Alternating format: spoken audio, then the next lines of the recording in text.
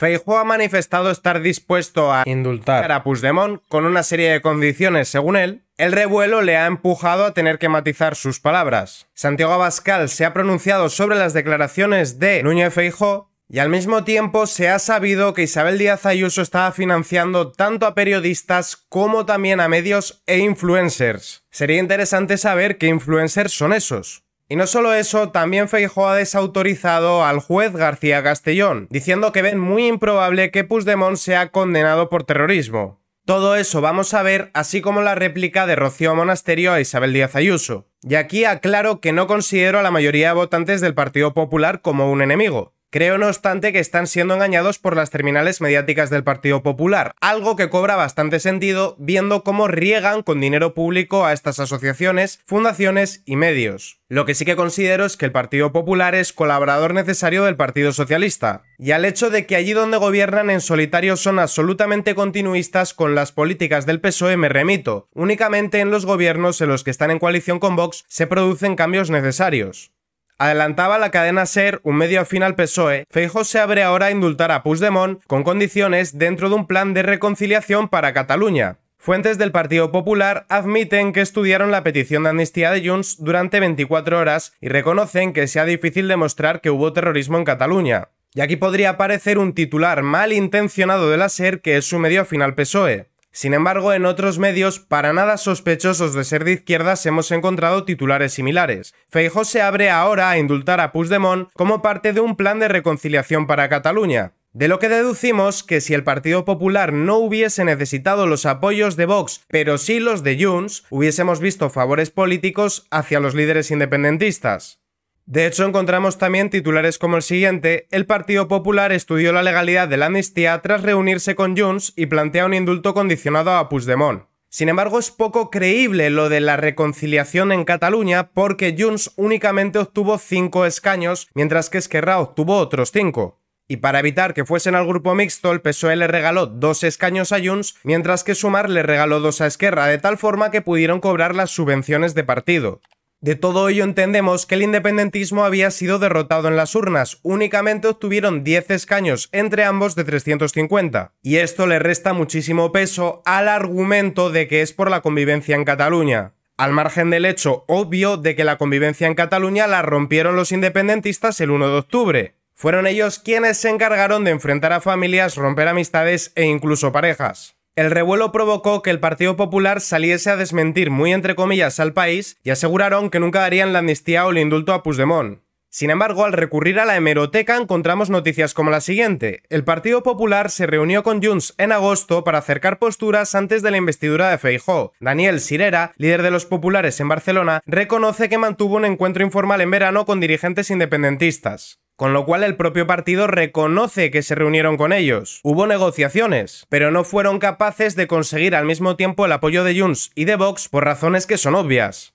Y de hecho, Aitor Esteban del PNV dijo en el Congreso que algún día contaré lo que el PP nos llegó a ofrecer hace un par de meses, dando a entender que en los diálogos con el PNV también ofrecieron cositas, y todo ello ha reforzado tanto a Vox como al PSOE en campaña gallega a Vox porque queda como el único partido que se opone a los independentistas y al PSOE porque el Partido Popular está dispuesto a hacer lo mismo que ellos. Todo ello en unas elecciones que se están basando para el Partido Popular en criticar la amnistía, y esto también choca con el hecho de que los domingos el Partido Popular se manifieste contra el PSOE y los lunes se reparta con ellos las comisiones de investigación, la mesa del Congreso o reformas constitucionales que van en contra otros artículos. Y antes de que veamos cómo el Partido Popular también ha desautorizado a los jueces, decir que yo aquí veo un triple problema. Alberto Núñez Feijóo no está en consonancia con sus votantes, eso ha quedado claro. El segundo problema, el Partido Popular tiene como líder Alberto Núñez Feijóo y el tercer problema, la mayoría de votantes del PP estarían más cómodos votando a Vox. Sin embargo, el acoso y derribo de los medios de comunicación, especialmente los del Partido Popular, hacen que el mensaje de Vox llegue absolutamente distorsionado a estos potenciales votantes. Y recordad que uno de los pactos del PSOE con Junts fue la cuestión del laufar, que sería poco menos que decir que los jueces prevaricaron y que por lo tanto hay que amnistiar para enmendar un error judicial. Ya sabéis que la amnistía no es un indulto, la amnistía implica un olvido. A colación de esto, el juez García Castellón, que es un juez que ha abierto diligencias no solo contra el independentismo, sino también contra el PSOE, Podemos y el Partido Popular, en su afán de frenar la amnistía, aceleró la investigación de la cuestión del terrorismo, algo que viene motivado por las tácticas que emplearon los CDR, pero también por la incautación de artefactos explosivos que secuestraran el aeropuerto del Prat con un muerto y que cortaran carreteras e intentaran que descarrilaran trenes, a lo que se suma la cantidad de agentes heridos, algunos de los cuales tuvieron que ser jubilados anticipadamente. Pues el Partido Popular ha salido diciendo que ven muy complicado que acaben vinculando por terrorismo a Puigdemont. Todo ello a pesar de la evidencia de que un empresario de su entorno facilitó walkie-talkies a los CDRs y al hecho de que se estaba filtrando información a los mismos CDRs de por dónde iba a estar la policía y la Guardia Civil para que pudieran llevar a cabo su acción contraria a la legalidad de forma impune.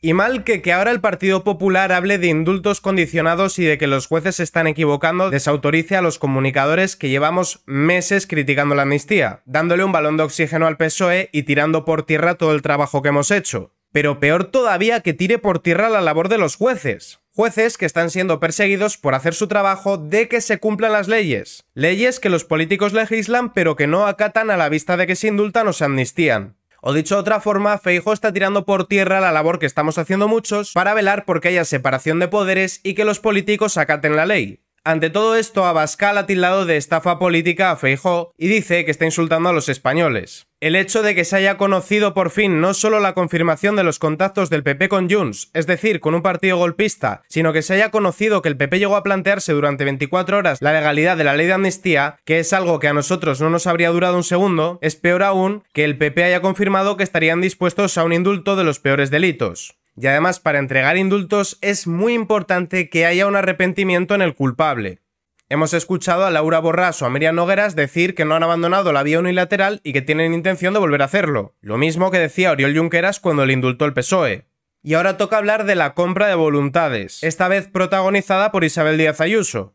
Ayuso sube de 12 a 27 millones el presupuesto para publicidad institucional en la Comunidad de Madrid. Y sé lo que muchos podréis estar pensando. Pagamos muchos impuestos, no pasa nada por cobrar una subvención, es recuperar parte del dinero que te han quitado. Error. No es una subvención, es publicidad institucional. Puedo entender el argumento de yo soy un padre de familia, llego muy ahogado a final de mes, entre otras cosas por la barbaridad de impuestos que pagamos, estoy a favor de reducir las ayudas y subvenciones para no pagar tantos impuestos, pero ya que esas ayudas están ahí, puedo entenderlo. Puedo entender también el argumento de yo soy un, por ejemplo, fontanero, pago la cuota de autónomos, pago mucho IRPF, no pasa nada por pedir la ayuda para comprar un ordenador. Sí, estás en contra de un sistema elefantiásico donde se dan muchas ayudas que tienen que ser sostenidas con muchísimos impuestos, pero quieres recuperar parte de lo que te han quitado. Puedo entenderlo. Pero es que no estamos hablando de subvenciones, estamos hablando de publicidad institucional, una publicidad que se emplea justamente para el cuarto poder, es decir, el poder que se encarga de fiscalizar la acción de los otros poderes. Y si esto no es corrupción, se le acerca muchísimo. Y es muy llamativa la lista de medios que reciben estas subvenciones que os voy a mostrar. Aquí estaría el listado completo, podéis detener el vídeo para leer y como podéis ver prácticamente no hay un solo medio de comunicación que no haya sido generosamente regado con fondos públicos. Algunos son de política y otros de economía. Es muy complicado pensar que vayan a criticar a la Comunidad Autónoma de Madrid, cuando precisamente es la Comunidad Autónoma de Madrid Isabel Díaz Ayuso una de las principales benefactoras y una de las principales fuentes de ingresos de estos medios. Si nos detenemos ahora podemos comprobar que la razón en la vanguardia están dentro de la lista, y también libre mercado. Uno de los puntos más llamativos y que coincide con el cambio de opinión, no mintió cambio de opinión de Federico, es que él percibe dinero a través de Es Radio, Libre Mercado y Libertad Digital. Siguen apareciendo otros medios interesantes como medios feministas, también Onda Cero, pero hay un detalle que es muy importante y que no ha de pasar desapercibido. Hay una partida muy cuantiosa destinada para influencers. Es decir, creadores de contenido independientes, ya sea en Instagram, ya sea en YouTube o en otros medios. Y lo grave de todo esto es que en lo referente a los medios de comunicación hemos podido saber a quién han beneficiado, pero con los influencers no. Y yo quiero saber quiénes son por dos razones. La primera y más evidente es porque es dinero público. Y la segunda para saber hasta qué punto puede estar condicionado el mensaje de estas personas y si están diciendo lo que verdaderamente piensan o están diciendo lo que tienen que decir para que les paguen. Ahora bien, como no tengo pruebas, no voy a crear la sombra de la duda sobre nadie. Solo incidir en que tenemos derecho a saber quiénes han sido los beneficiados. Y sobre esto le ha preguntado Rocío Monasterio Isabel Díaz Ayuso. Vamos a escuchar su intervención. Lo de Pedro Sánchez es una vergüenza, sí. Pero resulta que hemos descubierto que usted gasta cuatro veces más proporcionalmente que a Pedro Sánchez en publicidad institucional. 27 millones de euros. 27 millones de euros. Claro, que sería interminable si me dedicara a enumerar aquí la lista de todos los, los medios pagados, pero aquí la tiene. Es interminable. Medios pagados que al final no tienen la libertad para hablar de lo que quieren. Su propaganda. ¿Qué hace usted pagando con dinero de los madrileños al diario vasco? ¿Qué hace usted pagando con los impuestos de los madrileños a la voz de Cádiz o al norte de Castilla? ¿Qué hace usted dedicando 600.000 euros a Lo País o 600.000 euros a la SER?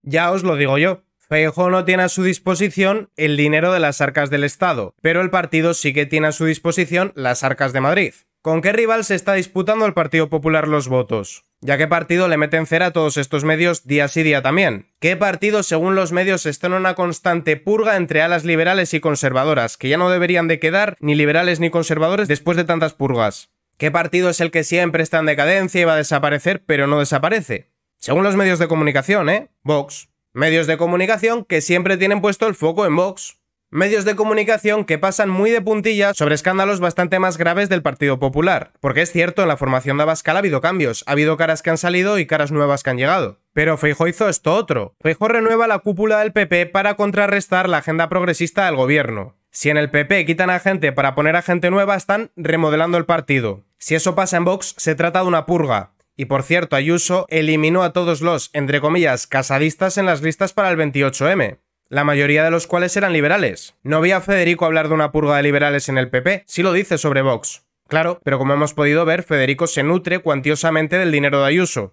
Esa es de la libertad que quiere usted hablarnos, de la libertad de todos los españoles para poder dedicar y poder tener libertad los medios de comunicación, los periodistas para hablar de lo que quieren Usted utiliza los mismos medios y usted sobre todo nos dice que no hay dinero para pagar mejor a los médicos o para hacerlos fijos, pero sí hay dinero para su propaganda. No hay dinero para vivienda social para nuestros jóvenes, pero sí hay dinero para su propaganda. No hay dinero para atender mejor a nuestros mayores, pero sí para su propaganda. No hay dinero para bajar más impuestos, pero sí hay 27 millones de euros para su propaganda en los medios de comunicación. No hay dinero para mejorar infraestructuras o, mejorar las carreteras, pero sí para su propaganda en los medios de comunicación. ¿Saben una cosa? Esto probablemente mañana no salga en ningún medio. Seguro que no. Seguro que no. No, no va a salir porque los tienen comprados. Y la realidad es que el Partido Popular es un partido totalmente continuista de las políticas del PSOE, a la gestión de Andalucía me remito, o si no, a las dos legislaturas perdidas de Mariano Rajoy, la primera con mayoría absoluta. Podía haber achicado el peso del Estado, haber bajado los impuestos que lo prometió en campaña y en lugar de eso los subió. Podía haber derogado leyes ideológicas como la ley de memoria histórica o la ley biogen que va en contra del artículo 14 de la Constitución. Tantas cosas que se podían haber hecho y no se hicieron, para tener que aguantar que el Partido Popular diga que Vox es útil al PSOE por presentarse en las elecciones gallegas. No, se va a presentar Vox a donde le diga Federico o le diga al PP que es complicado saber dónde empieza el PP y dónde acaba Federico. Para decir que Vox está obsesionado con el PP cuando en realidad encontramos declaraciones como la siguiente. Tellado invita a meter la mano en el buzón de los vecinos y tirar las papeletas de Vox. El Partido Popular no entiende que para gobernar necesita a Vox, y en cambio quieren hacerlo desaparecer, mientras el PSOE reforzó a Sumar entendiendo que rescata los votos que se le escapan por la izquierda. Vox sí que le ha tendido la mano en numerosas ocasiones al Partido Popular, mano que el Partido Popular le muerde. No soy Esopo, pero voy a contaros una fábula, de mi autoría. Imaginad una hiena, un conejo y un búfalo. La hiena manifiesta su deseo de devorarlos a ambos. El búfalo le propone al conejo distraer a la hiena para que pueda cornearla, y el conejo acusa al búfalo de ser parte del problema, le llama violento y le dice que hay que llegar a un entendimiento con la hiena. La hiena devora al conejo y con energías renovadas se come también al búfalo. Moraleja, no se puede negociar con quien te quiere destruir. Y la imagen que define todo esto es esta. El Partido Popular es el puntal que impide que el PSOE caiga. Política y Noticias.